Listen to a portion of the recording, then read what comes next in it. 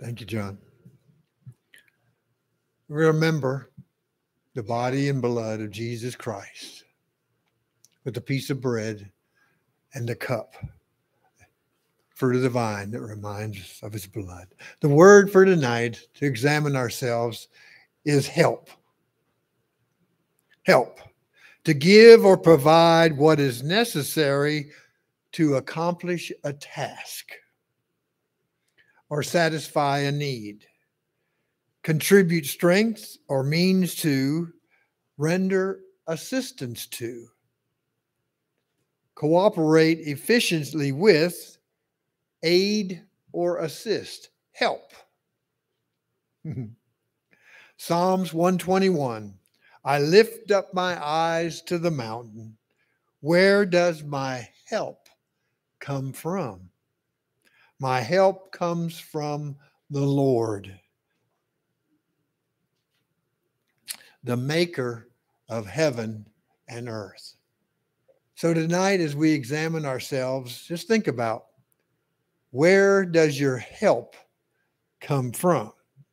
Psalms 46 God is our refuge and strength, an ever present help in trouble, ever present help. John 14, and I will ask the Father, and he will give you another advocate to help you and be with you forever. You see, we have this helper, the Holy Spirit, that resides in us. That's our advocate, that's our helper. Isaiah 41. So do not be afraid, for I am with you. Do not be dismayed, for I am your God. I will strengthen you and help you. I will uphold you and my with my righteous right hand. Hallelujah. Where does our help come from? The Lord, right? A piece of bread and a cup that reminds us of the body and the blood of Jesus Christ.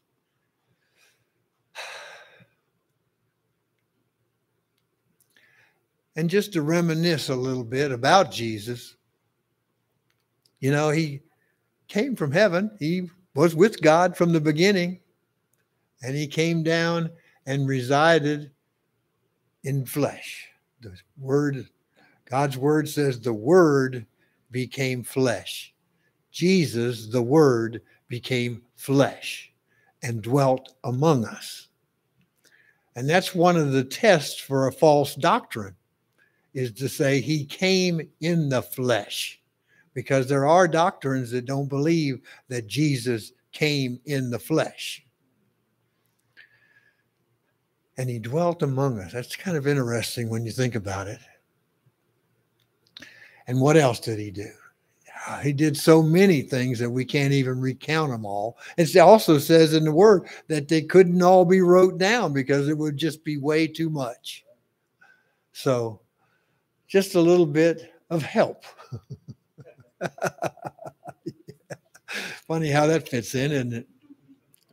Thank you, Father, for being our helper. Thank you for sending an advocate, a helper that helps us always in our constant time of need and in troubling times, Father. For truly we can see this day and age that things are not getting better, things are getting worse.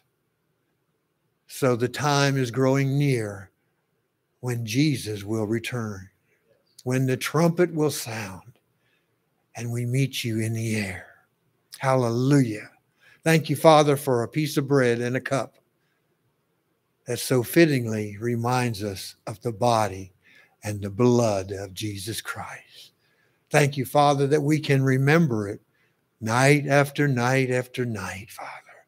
Thank you, Father, for giving us a physical way to remember the body and the blood of our Savior, Jesus Christ.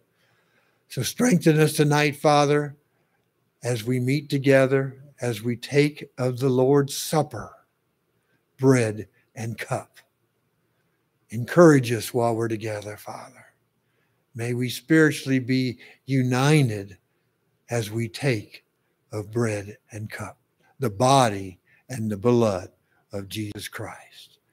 Thank you in the name of Jesus. Amen. Amen. Let's take of the bread.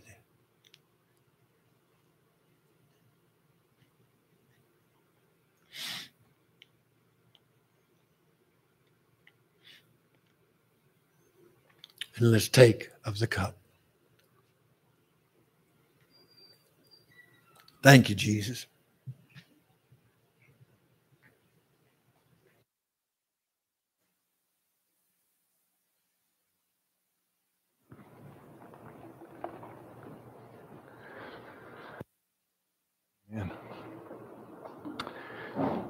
Turn to Hebrews chapter 4.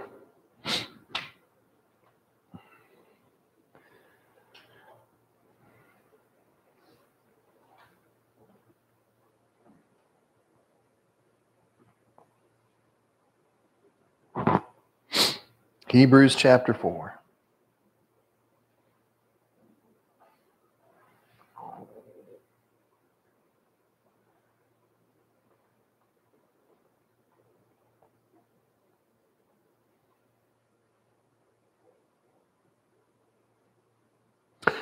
Let's just begin in verse 1 and kind of just read on down. I know we covered verse 1 down through about verse 3 or 4 last week, really good.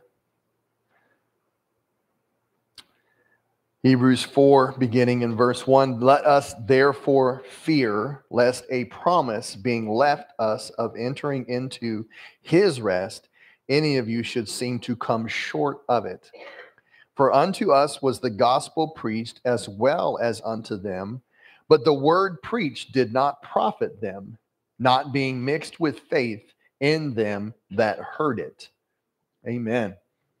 And that's just something to pause on. You know, when you hear the word of God, you've got to mix it with what? Faith. You don't mix the word with faith, you got nothing. And you're going to hear some other word coming up here, one more word. You know, it's it's it's uh, in there is presented as labor or work.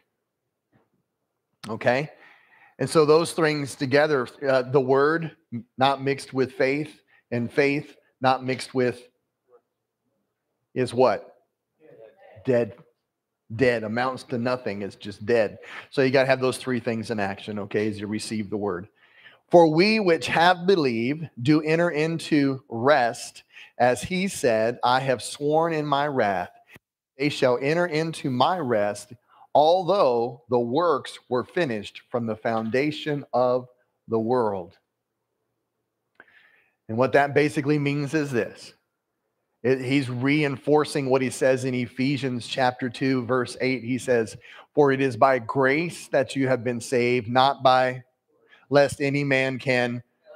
And in Ephesians chapter 1, it says that before the foundation of the world, God set all this in motion. He took care of it all. So it's already, the foundation is laid, the price is paid, um, and the way is made you know, for, for rest to be something that we can enter into spiritually, morally, emotionally, um, physically. I mean, there, there's just it's it's a total rest, but it requires first the word, second faith, and third effort on your part.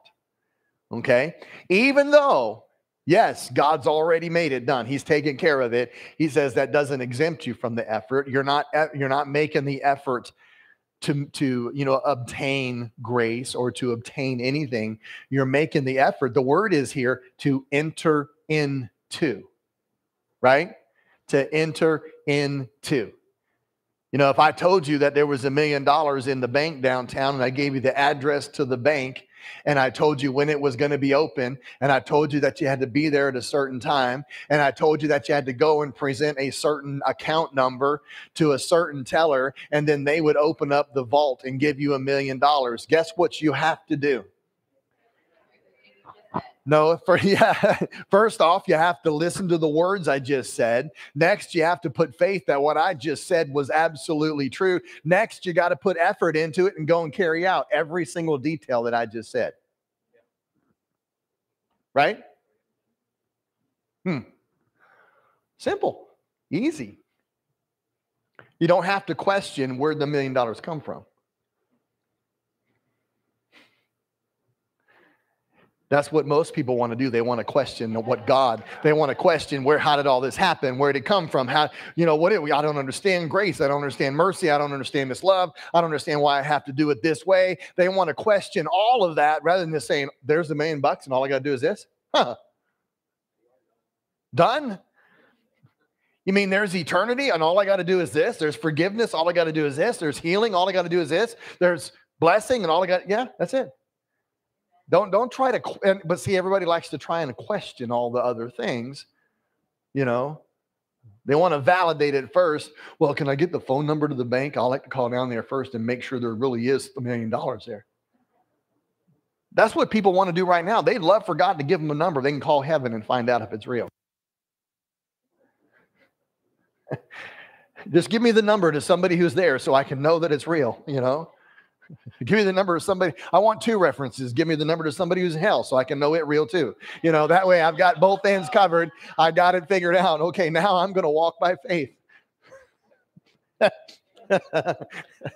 Just, you know, got to have two references, you know, so. hmm. Verse 4 For he spake in a certain place of the seventh day on this wise and God did rest the seventh day from all his works. I love how vague the, the apostle is here in his writing. Someplace, someplace I remember that it's written God rested. you know, it's kind of like, you know, he's having a senior moment or something, you know, come on.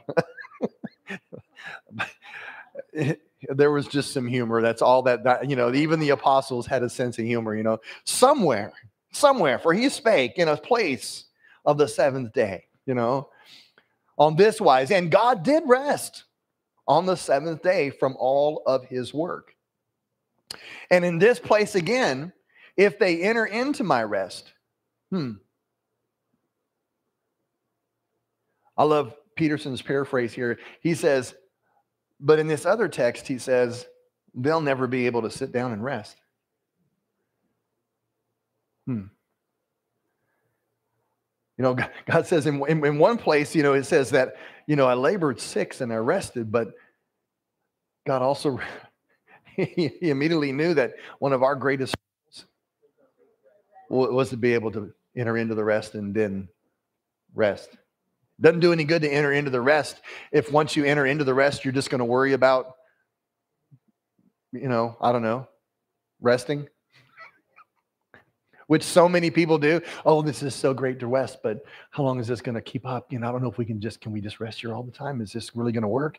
You know, and they're I mean they're just a worry mess the whole time that they're supposed to be resting and they're worrying about or all the things that aren't getting done.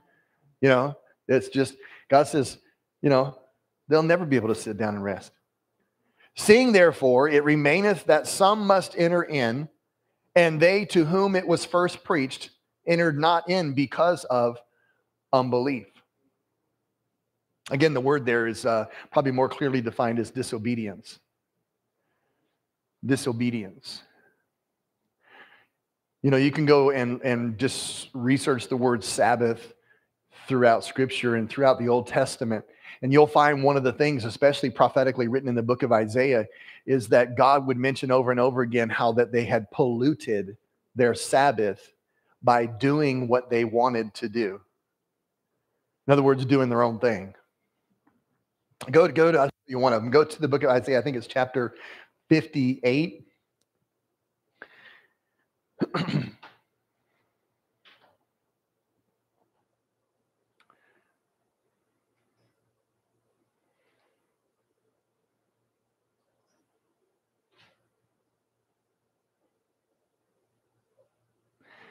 and uh, look at verse 12. It says, And they that shall be of thee shall build the old waste places, Thou shalt raise up the foundations of many generations, and thou shalt be called uh, uh, the repairer of the breach, the restorer of paths to dwell in. That all sounds great, doesn't it? Huh? I mean, we, we kind of talked about a lot of those repairing the waste on Sunday. You know, the beauty for ashes and all of those things that God came to do. Look at this verse 13 now. If thou turn away thy foot from the Sabbath, from doing thy pleasure on my holy day, and call the Sabbath a delight, the holy of the Lord honorable, and shall honor him, not doing thine own ways, nor finding thine own pleasure, nor speaking thine old words. There was a lot of vine in there, wasn't it? There was a lot of your way. And God says, you know, it is, it, the whole Sabbath thing is about first learning how to surrender your will to his will. Not my will be done, your will be done without question. See, and if you want to enter into rest, rest isn't about a Sabbath day. Even blessed are you, though, when you honor and rest on a day. Whatever day you want to pick, pick one. God works six. All right. There's no reason for you to work seven. Some of you working seven and, and you're, str- you're still not making ends meet. You're still not getting everything done. You're still just as stressed. So, you know, why not just do it in six? Take that one, honor God, and watch things change. See, that's the part people don't understand. If you'll start honoring God in the every area of your life, without question, things will change. It's amazing that even in, in, in the financial realm, if you want to see a change in your financial realm, God, realm, God says, stop robbing me. Give me what is mine and see if I won't open up the windows of heaven and pour out so much blessing you can't contain it. But the robbing there in Malachi 3 was there was a whole lot of robbing going on. It just wasn't that they weren't given the tithe, but they also weren't living righteously in their lives. They were they were doing part of what God said. They were twisting around what God said to make it fit their own pleasures. And God says, "I'm not happy with that." Stop robbing me. Let's get back to giving me. In other words, doing the things in absolute obedience. And then now, guess what happens? It's a four letter word. Guess what happens? What? Starts with an R. Ah.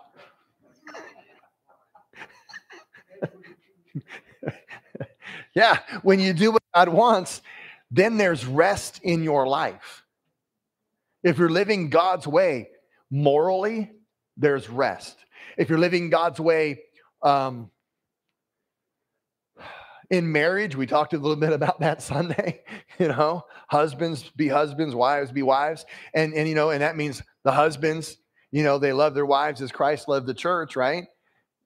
And then wives, you submit and honor your husband and revere him. You know, and, and, and when you do those things, no matter how hard it is, guess what there is in your marriage? Yeah, there will be rest. You won't be at each other's throats. You won't be fussing and fighting and nicking and picking and all that kind of stuff. There will be peace in your house. There will be peace in your relationship when you just say, wait a second, my role is to love my wife like Christ loves me. And I want to ask you, what end is there to that? None. There is no end to it. You just keep on going. Christ, aren't you glad he don't ever get to the place where he says, "No, I'm done with you." Right? And so we love our we love our wives. We pre, and, and we cover our wives. We do that which God has called us to do as men. You know. And then the next thing is the, the women honor their husbands the same way that we're supposed to honor God and honor Christ and fear Him you know, and submit. That's the other word. We don't like that. Ooh, you know, submit. But the, the preceding verse to both of those things, talking about husbands and wives, is, and the, the preceding verse before it is, is submit yourselves therefore unto Christ. So the wife has to be submitted, the man has to be submitted unto Christ. And when the husband and the wife are submitted unto Christ, well, then the man has no problem doing what he's supposed to do, and the wife has no problem doing what she's supposed to do, and there is rest in the family it's that simple. It's that simple. You don't believe me? I dare you to try it. dare you to try it. You got some financial issues? My question would be Are you tired? But once I get my finances straight, I will. That's not how it works. Okay? You tithe and you watch God work things out. Because you're going to be honor him. You're going to submit to him. You're going to work. Because where's the faith? If you want to get your finances now where tithing is no big deal, where's your faith? Notice what this hinges on over here is that you got to take the word and mix it with what? Ah. And then take the word and mix faith and then mix it with effort.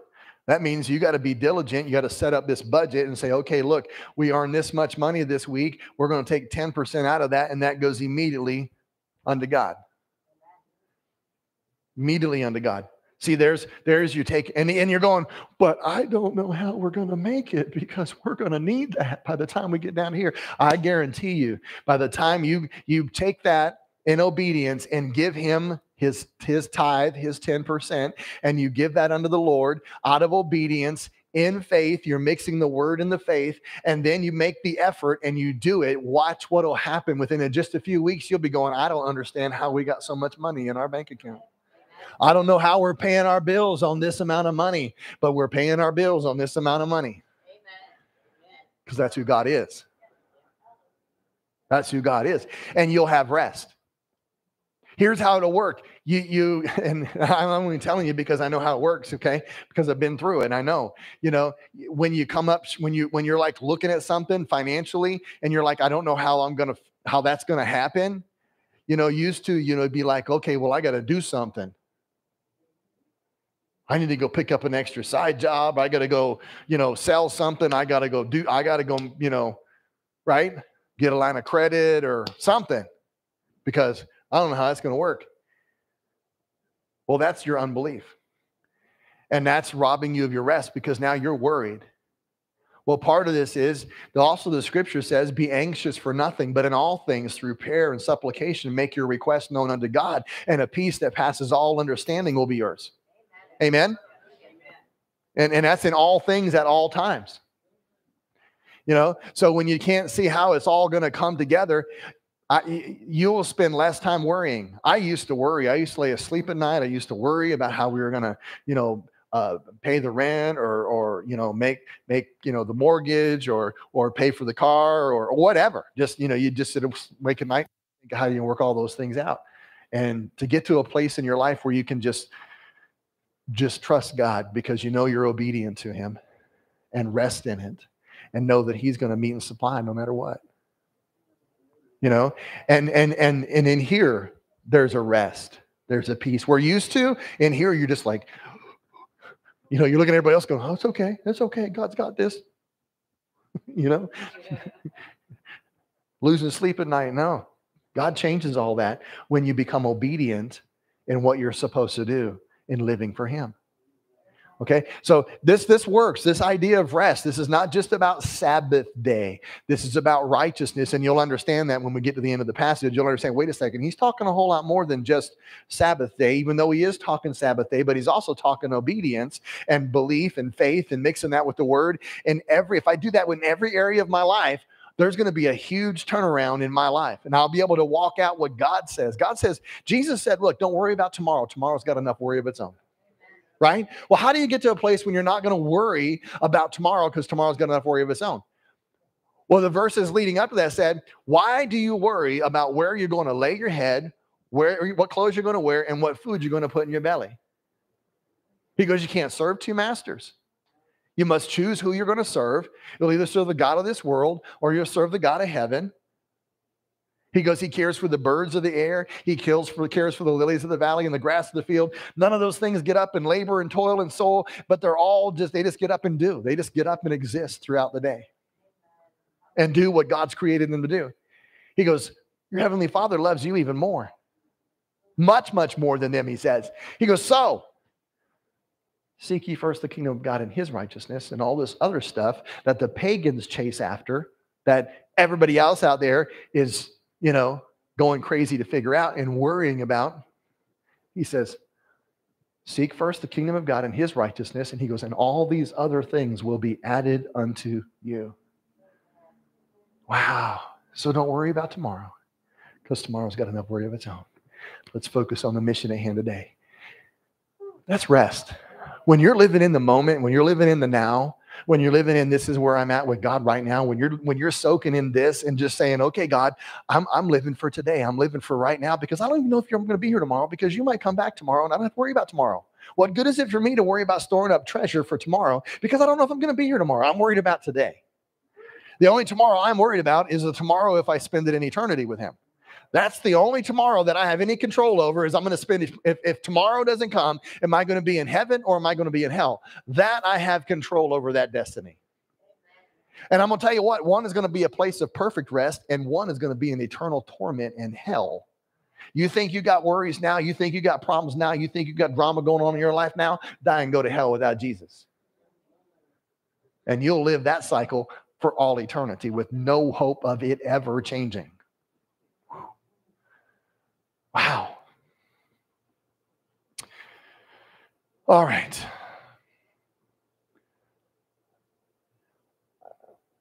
Oh, yeah, let's finish 14 there in 58 of Isaiah. It says, Then shalt thou delight thyself in the Lord. Oh, then shalt thou delight thyself in the Lord when I'm not worried about mine, mine, mine, mine, mine, right? When you're not stuck in verse 13, you can be stuck in verse 14. Delighting yourself in the Lord and I will cause thee to ride upon the high places of the earth, and feed thee with the heritage of Jacob thy father, for the mouth of the Lord huh, said what? He spoke it because God said so. So you take that word, you mix it with faith, and you walk it out. Get over yourself, verse 13. That's what that means. Get over yourself, verse 13, so you can walk in verse 14. Hmm. All right. Back to Hebrews chapter 4. Where were we? Glad somebody was following along. I wasn't. Again, he limiteth a certain day, saying in David, Today, after so long a time, as it is said, today if you will hear his voice, harden not your hearts.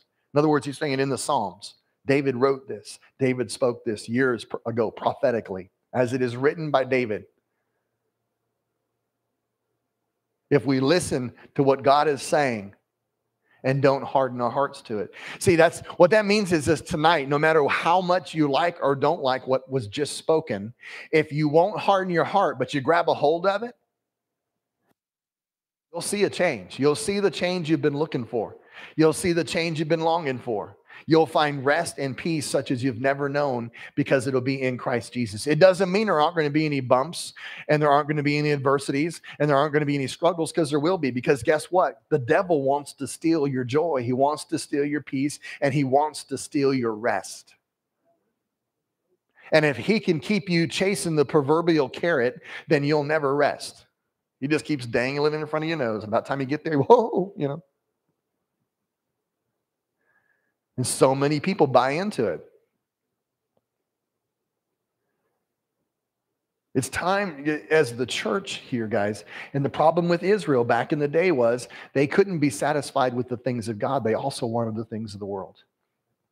The Bible declares a house divided against itself cannot stand. You can't chase after the world and chase after God. Make your choice. Which one are you're going to chase after? Once you make that choice, wow, things begin to get real easy, simplified. Hmm. Okay. Harden not your hearts. Verse 8 For if Jesus had given them rest, then would he not afterward have spoken of another day? Hmm.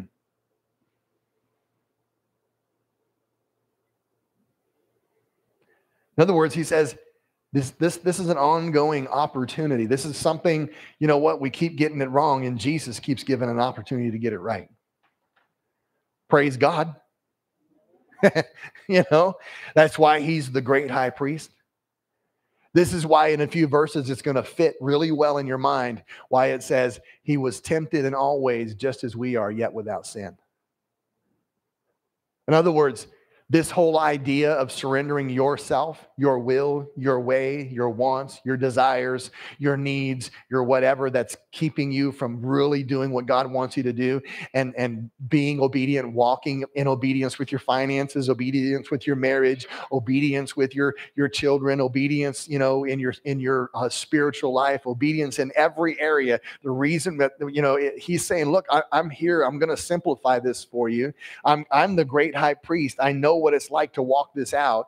You know, even I had to pray in the garden and cry unto my father, if you can take this cup from me, please. But Father, not my will, but yours be done. And to the cross he went. Notice immediately when he's done praying that prayer, he goes back to his disciples, and immediately the Judas Judas comes, and it's the hour of the betrayal. The greatest hour of Jesus is testing and Jesus's walk and Jesus's mission that he came to fulfill on this earth started the minute that he surrendered his will to the Father. Then did he experience that heartache of betrayal as Judas kissed him. Then, then he felt the heartache as he was falsely accused and no one stood by his side. The heartache as he could look into Peter's eyes and the cock crowed three times. And Peter said, I don't know him.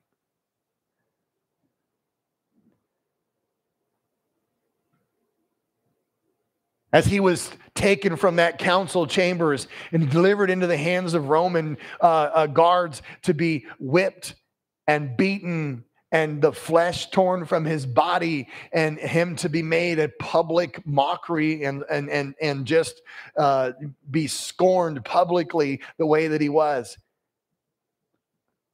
He walked through all of that. He said i did that so you could continue to have an opportunity to step out of unbelief and disobedience into a life of faith and rest through jesus that's the power of what he's saying. He goes, I understand your, your, your inability. I understand your human weakness, but Jesus. Amen. I mean, that's the Apostle Paul in Romans 7. He says, My human weakness, but Jesus. That, that's, that's Romans 7. If you ever want to just paraphrase Romans 7, my human weakness, but Jesus. Amen. See, we could just shorten the Bible right down to a few pages and it would be just so, you know, really easy people to get. Verse 9, there remaineth therefore a rest to the people of God. That's a promise. There remains a rest to the people of God. Enter into it, folks. I'm telling you what, just start entering into everything that God said to do and then for the areas in which you fail, there's Jesus. For the times you fail, there's Jesus. Jesus isn't your crutch. Jesus isn't an enabler. Jesus isn't there so you can just kind of live willy nilly doing what you want to and not putting any effort. No, it's when you put the effort in and you come up short, even though you put the effort in and, and you keep keep falling and stumbling just a little bit. Praise God, there's Jesus. You know, because you know the law It illuminated in uh, the way, in the pathway to righteousness, but it also illuminated uh, and um, our inability and our weakness. And it says there in Romans that it gave power to sin to rule and reign over us. But there's Jesus. Jesus came to set us free from sin. Jesus came to set us free from that curse. And Jesus came to make right and take away the condemnation for when we fail according to the law. Jesus says, No, there's no condemnation to those who are in Christ Jesus, who don't chase after the things of the flesh, but who run after the things of the Spirit. this is this is this is a good passage of scripture. I'm telling you, this is awesome. You're not enjoying it, I am. This is this is good. For he that has entered into his rest, he also has ceased from his own works as God did from his. Oh, let's let's read that again. For he That's you and me. That's a that's a, a word of opportunity because anybody can become the he. For he that is entered into his rest, he also has ceased from his as God did from his own. Hmm.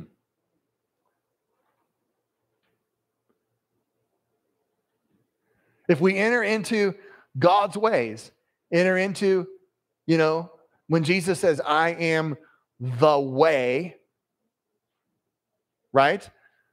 We don't have to go any further, just I am the way. So he's showing you the way to enter into the rest.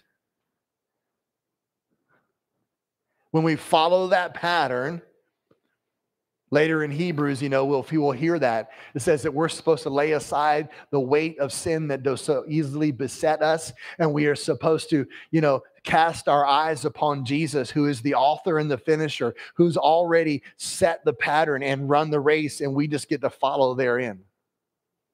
Huh. You mean it's not even that hard to figure out how to do this? No, because Jesus set down the pattern. Praise God.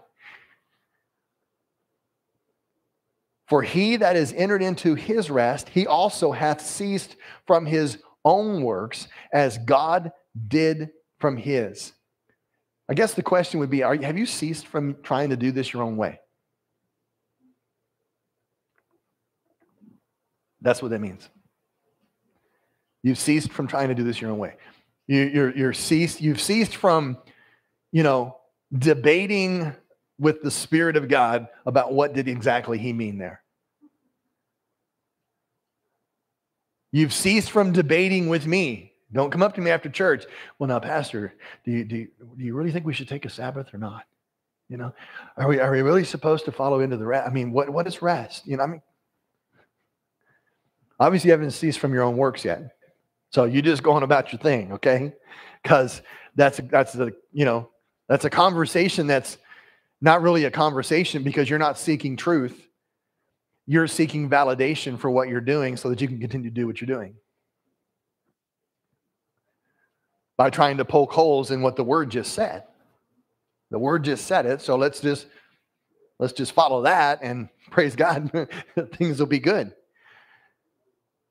Cease from your own works as God did from his own works. Let us labor, therefore. Boy, this is just a, I love it. He calls us to rest. Now he wants us to labor. Let us labor, therefore, to enter into that rest, lest any man fall after the same example of unbelief. In other words, this is going to this is going to take effort on your part to make it happen. And I'll just give you a, a, just a true to life example. Okay. When I mention Sabbath day, and I get so much kickback from people. That's the law. That's Old Testament. You're leading us into bondage. No, no. No, no, not leading you into bondage any more than God led them into. Would God did, did God speak that to lead his people into bondage? Or would God speak that in that time so he could say, Look, you will now experience my blessings when you walk according to my ways and you live this way. You're going to be blessed. You're going to be blessed. Your, your livestock's going to be blessed. Your, your, your, the land you're on and the crops you plant, they're going to be blessed. The people that work for you, they're going to be blessed. Why? Because there's rest in the land. You know, he, didn't do it to lead them into bondage. He did these things to lead them into liberty and to life. But everybody wants to think, they look at it as bondage. I'm like, no, no, that's the devil. He's working against it. He likes to take the word and twist it and make liberty look like, you know, bondage and bondage look like liberty. Hmm. So, you know, he says, look, you know, we've got to get to the point where we labor. In other words, hear what God says and make the honest effort to make it happen. So, like Sabbath day, I'm going to tell you what, when we first got the revelation about Sabbath day, okay, I'm going to tell you what, man, we, we as a family, that was exhausting. It was exhausting to tell your flesh, no, we're resting today. I can remember so many little family conversations, you know, amongst ourselves and with the kids. So, what exactly can we and can we not do on the Sabbath day? Is it okay to do this? Is it okay to do that? Is it okay to do this? Can I read a book? Can I do? You know, I'm just like, ah, you know, right?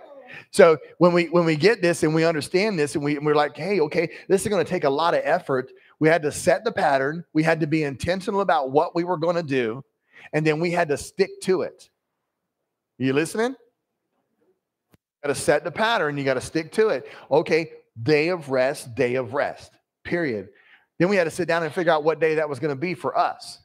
Okay, because again, I'm not I'm not into telling you guys what day it is for you. God didn't say what day it was. He just said he worked sick and rested one. So let's work six and rest one. Pick one. I don't care which one it is. Whatever works for you, pick that one. And and it's not a day to catch up on your honeydews and your whatevers and you know do your DIY projects and all that kind of stuff. No, it's the time to. There you go. And it doesn't have to involve church. Matter of fact, it shouldn't involve church because the one complaint about church is I don't get any rest. Yeah, you know, oh, I had to get up early today, Pastor. Yeah, then I got to sit in here and listen to you talk for two hours, and I'm getting tired by the moment. You know, I just want to go home and yeah, everybody wants a nap on Sunday. You know, so after we go and do all this busy stuff Sunday morning, we squeeze a nap into Sunday afternoon, and then we try really hard to make it back to Sunday night church. And there is no rest in that. But we'll call that Sabbath day, and we'll call that our day of rest. I'm like, that is not rest. Pick a day and do what God said. Yeah. Takes a whole lot of effort. See, we like to put church in the middle of the Sabbath day because it makes it feel right to us. Well, no, because it looks holy. Uh, see, we included God in it. So just because you put God in it, don't make it right. And it doesn't even mean God's in it. Just because you put his name there doesn't mean he's there. That's not how that works. So we got to labor to enter in. It takes effort to tithe. It takes discipline to do that and discipline to set your budget up and say, okay, it takes this. There's another part of the uh, Bible talks all about money a lot of times. It says, oh man, no, no, no man anything, right? Boy, that takes effort to live this life without owing any man anything. Oh, well, Pastor, that's unreasonable. You know, I got to have a mortgage. No, you don't. Well, I got to have a car, and that requires a. No, no, you don't. You want a car and you want a mortgage, but do you need it? Let's get right down to the nitty gritty of it all. No, you don't need either one. Can you live with both? Oh, yes, you can. Well, Pastor, I need air conditioning. No, no, you don't. I mean, again, let's get down to the truth of it all. You know, it's there, there's, there's, you know, he said, Oh man, no, no, no man, anything. And yet we owe people for all of those things all the time. I love the looks on your faces. It's great.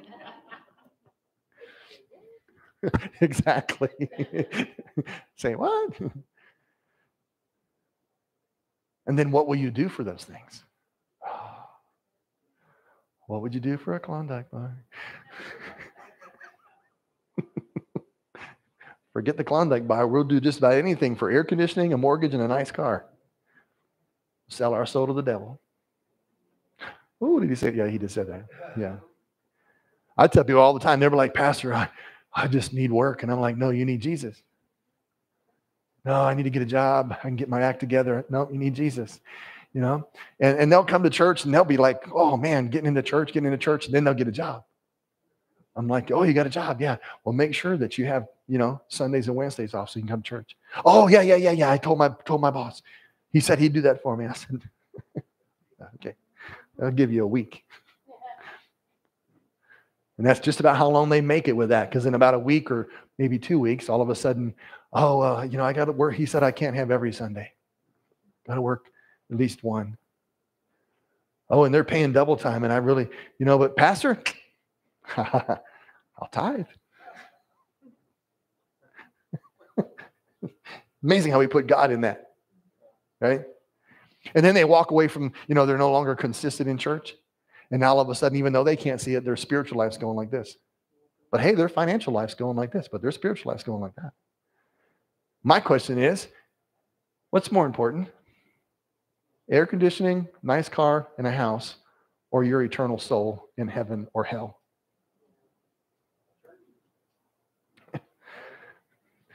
It's amazing how few people are like, you know, absolutely certain of which one of those they want to choose, you know? And yet Jesus said, He goes, if your eye, you know, if your eye offends you and is going to leave you into throw, you you know, going to put you into hellfire, he goes, better for you to go through life with one eye than to go into hell with two. He goes, if your right hand offends you, he goes, cut it off because it's better for you to go into right life with one hand than to go into hell with two. Right? And that's extreme. Yes, that's extreme. But he's trying to get Jesus. Those are the words of Jesus. Don't look at me like I'm an idiot, okay, or like I'm some. Uh, that's that's that's Jesus. He preached that sermon to the people. Okay, that's what he said. So you know, he's trying to get the extreme across to you that hey, what is it that's going to be the hangup that at the end of the time when you stand before Jesus and you'll stand there and that'll be the one thing that keeps you out of heaven. What's it going to be?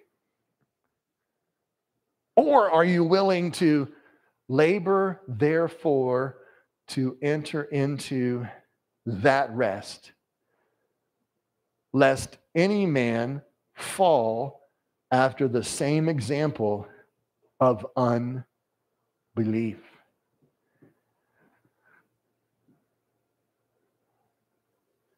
See, the question would be is do you believe God can provide for you? Do you believe God can heal you? Do you believe God can sustain you? Do you believe God will meet and supply all your needs according to his riches and glory in Christ Jesus or not? Because, see, the children, as they wandered through the wilderness, Israel, God sustained all their needs. They didn't, he said, if you'll if you'll commit your way unto me, and if you'll follow all my commandments and all my statutes, I won't allow any disease or sickness or plague to come upon you. I will be the God that healeth thee. Wait a minute, he just promised you the best medical plan ever on planet Earth. That not only would he heal you, but you won't even have to worry about the healing because in his book, the healing is none of that stuff comes nigh your dwelling place. It's like one of the first promises that he made to the people after they came out of Egypt. They've just started the journey. And God says that. And he had just performed one of them, you know, well, if, if the Red Sea wasn't already an amazing, you know, miracle, but they came to a place where there was bitter water and they couldn't drink it and they were thirsty.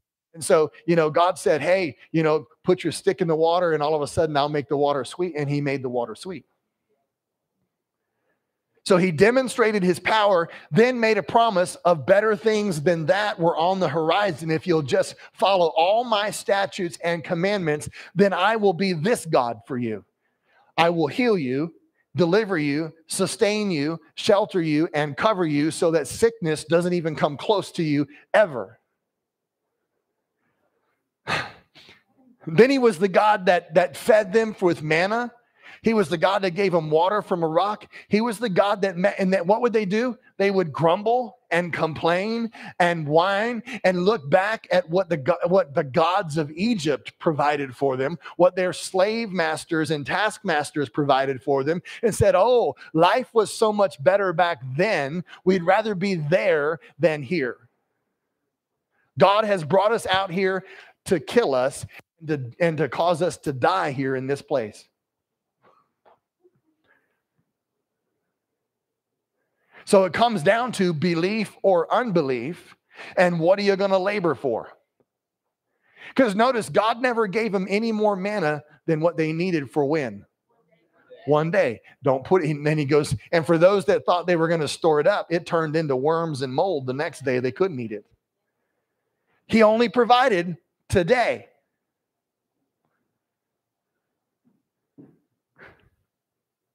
But they were never satisfied with just stepping out your door and getting bread and being fed. Roll your lazy behind out of bed and just go pick up the bread. And you want to grumble against God. I mean, he did he did miraculous things to demonstrate. And, and, and guess what? What if they had just done what he said? Guess what they were going to enter into? What, Pastor, you mean they? God said, if a man don't work, he don't eat. Hmm. Well, they still had to walk out the door. They still had to go and collect the manna from off the ground. And then they, they took the manna and it was it was something they described like like coriander seed is the description in scriptures and they would grind it and knead it into a bread and eat it does that sound like labor and effort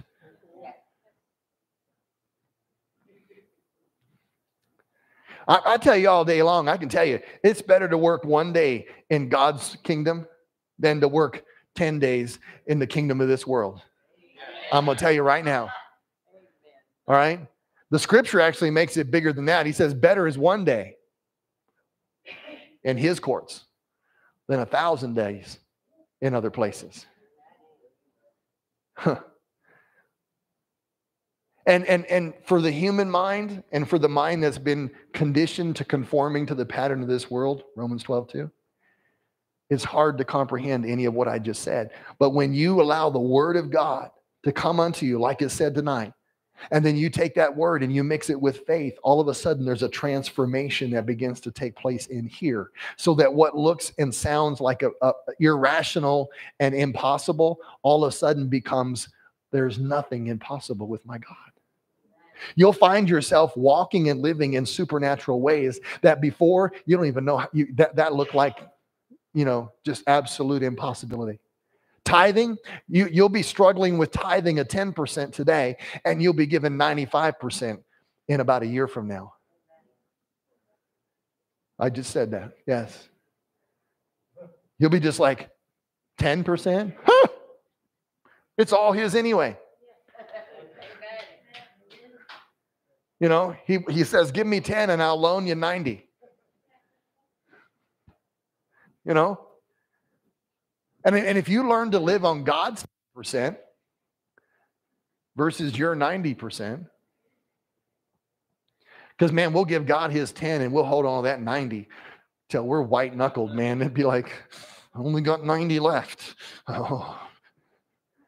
If you're going to live that way, please don't give God your 10. If you're gonna if you're gonna like put a stranglehold on the nine left you, and you're not going to have joy, and you're going to stress over the ten that you gave him, and at the end of them, at the end of the week or the end of the month or the end of the day, you're going to look at the ten and so say, if only I'd have had that, I'd have made it this month. You're better off not giving God anything because you put a stranglehold on that ninety. You should look and say, Praise God, He gave me, I mean, 90% of what God wants to bless you with.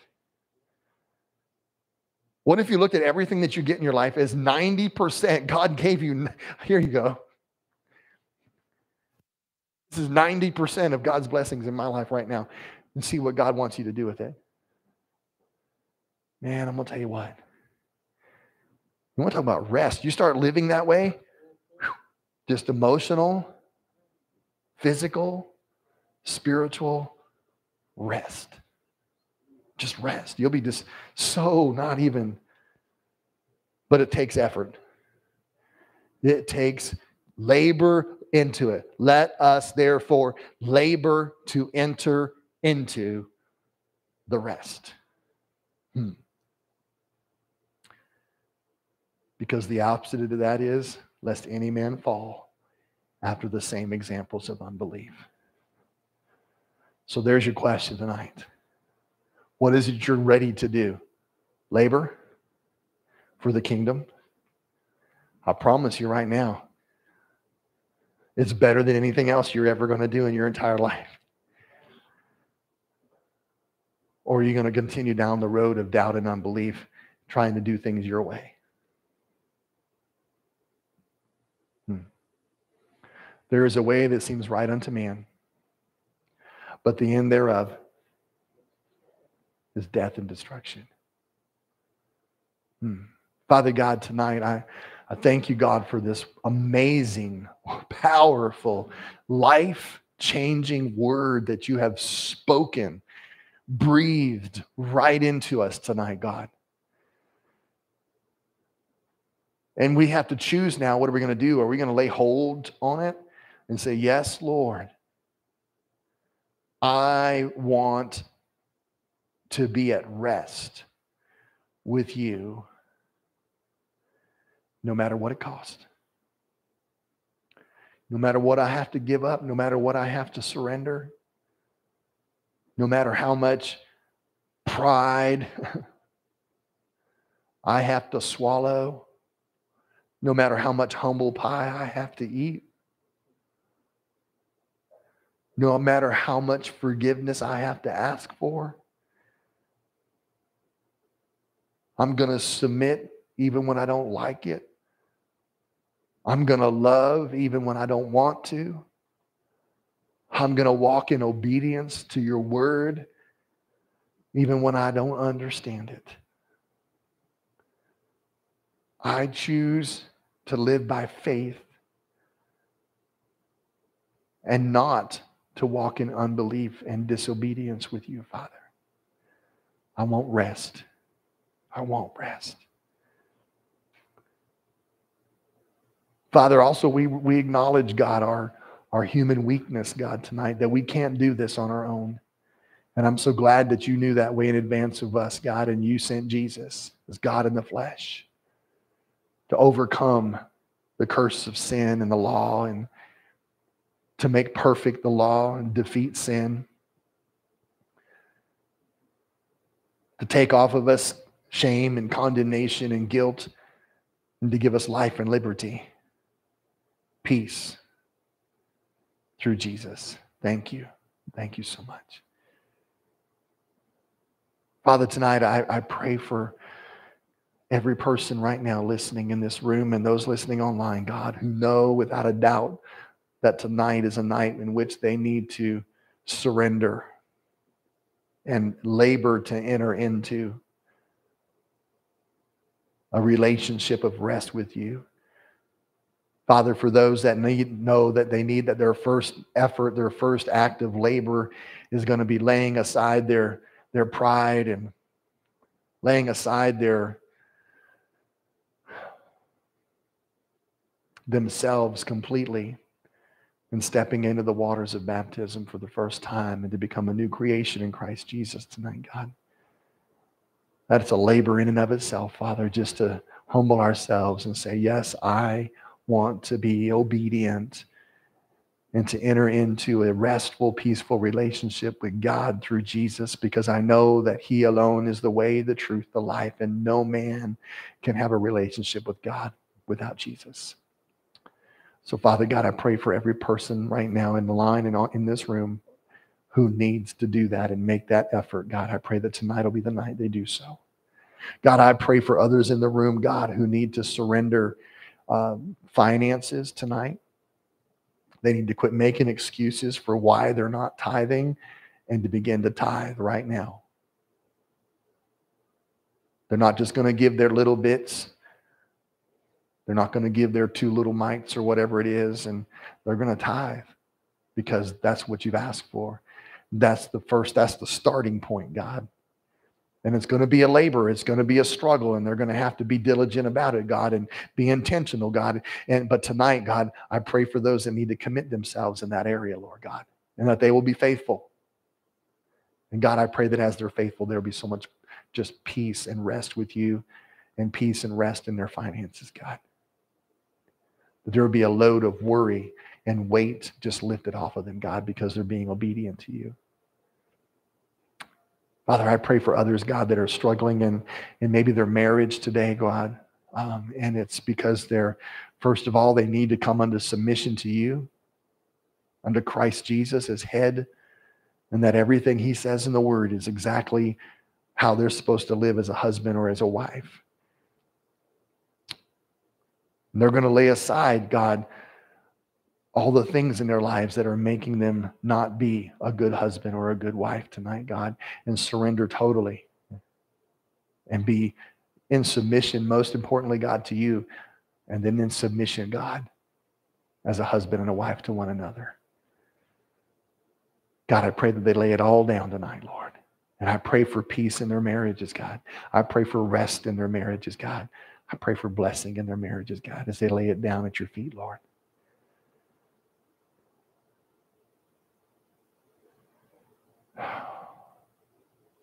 Father, there's other people struggling, God, with just committing unto you, God, the hours of their day. They're, they're still chasing after their wants, their desires, their pleasures. In the area they need to commit to, God, is, is Sabbath rest. God help them to labor into that by picking a day and being faithful to the day and, and not letting anything steal away the day. And God, I pray that you'll strengthen them, God, that you'll gird them and and and and just uh, give the host of heaven, God, uh, just an encampment all around them as God, they're going to be pressed in on every side to violate the commitment to the Sabbath day. But God, I pray that you'll strengthen them in that commitment, that they will honor you. And God, I pray that there will just be an abundant blessing that happens in their in their homes, uh, in their health, in their mental uh, uh, an emotional state, God, that they'll have peace of mind. Their bodies will come into alignment physically, Lord. And I pray for just a, just a complete just blessing, God, a Sabbath blessing to come upon their homes and their in their in their physical bodies, Father, in their their minds, and also, God, a, a, a refreshing spiritually, Lord. Oh God, I just thank you and praise you, Lord. Thank you, Jesus, God. Hallelujah. If you're listening right now and anything that I've prayed over right now, maybe it's baptism and you need to labor into that tonight and just step into the water and quit, quit, you know, making excuses or resisting or whatever it is that you keep using as the thing. Um, and just surrender and come and just experience rest in the water. your your soul's going to be at rest. Your spirit's going to be at rest. Your your man, I'll tell you what, there's going to be a weight lifted off of you tonight. Just come, come. If you have one of the other issues and you're not coming for baptism, but you have one of those, there's some other areas in your life, and you know you need to surrender it. Um, what I want you to do is, um, if you have, maybe it's Sabbath, maybe it's tithing, maybe it's your marriage, whatever it is, I want you to come up front and I want you just to kneel up here someplace. I want you to kneel. And, and, and that's it. That'll be your act. That's your thing. You got to get out of your seat and come and kneel and say, okay, God, I'm surrendering this to you right now tonight. Maybe it's your future. Maybe it's your job. You, you're, you're, you, you've known God's called you out of something, but you're like holding on to it just tight fisted because you're afraid. Because you can't, you can't see how tomorrow's going to work if you're not in control of it and you need to surrender tomorrow to the hands of God tonight and labor into that rest with him. You're, you're a worrier. You're always worrying about tomorrow. And God said, don't worry about tomorrow. And you need to come and get on your knees and receive a peace that passes all understanding tonight. So as we sing this last song, I want you guys to make decisions, whatever it is tonight. Just come and make your decisions tonight as we sing this song. Stand to your feet.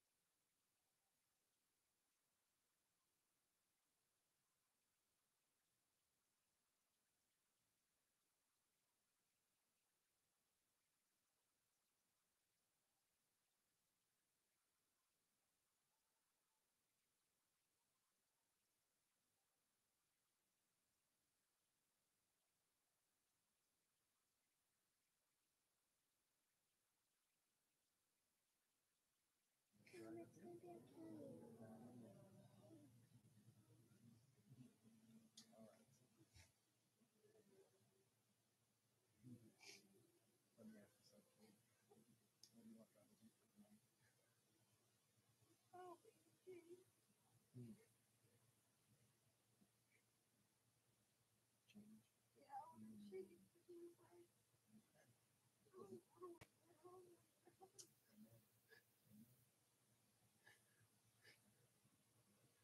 Bible says you become a new creation. Amen. All right. So, um, because of your confession and your faith and your obedience to Him, I'm going to baptize you in the name of Jesus. Is for the remission of your sin. And you're going to be filled with the Holy Spirit. And you become a new creation. That's everything the Lord says. Okay? So from this point forward, you know, you to choose. Yes, you do. You came in at the right time, didn't you? you got a labor for it. That's right. That's right. And, and know that that Holy Spirit's going to be inside of you to, to make that so that you don't have to labor so hard because He gives you the victory. He gives you all the power you need to overcome. Tonight in the water, man, He's going to set you free from everything. Every heartbreak, and every anything that's holding on to you, any addictions you have, anything at all, everything in there, He's just going to take away. And you're coming out of this water, you're free.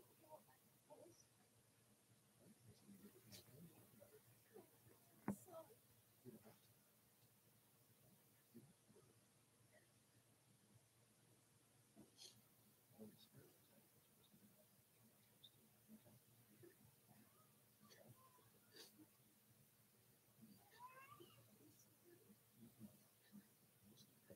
Who's more for your cooking? That's how I- Well, Messing up. Oh, oh, oh, oh. Just let-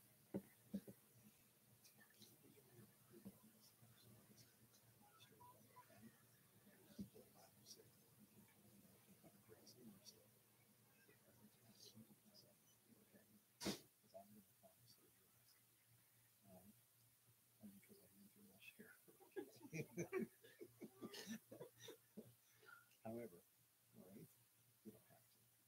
When you do, the Bible says, confess your sin. He's faithful and just to forgive you your sin and cleanse you from all of your unrighteousness. Okay? All right. Yeah. Want to hold your nose?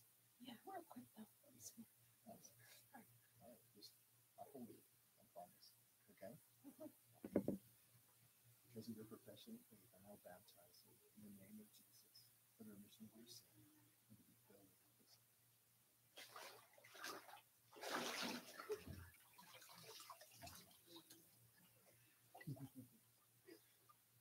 Mm. Father, just touch her right now. Just heal her. Oh, just wrap your arms around her, God, and let her know how much you love her. She's your daughter. Mm. She has the promise of heaven. She has the gift of the Holy Ghost. She's a brand new person right now. No matter what she had or what she brought into the water, she's brand new in the name of Jesus. And we just thank you for it. Thank you, Lord. Just feel her so full, God. Fill her full of your presence, Lord. Full of your spirit. Oh, hallelujah. Just make her into the woman, the wife, and the mama that you've designed her to be, God.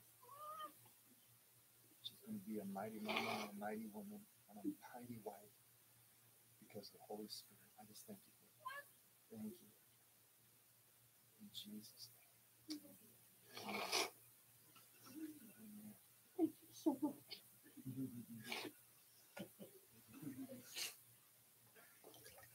Um,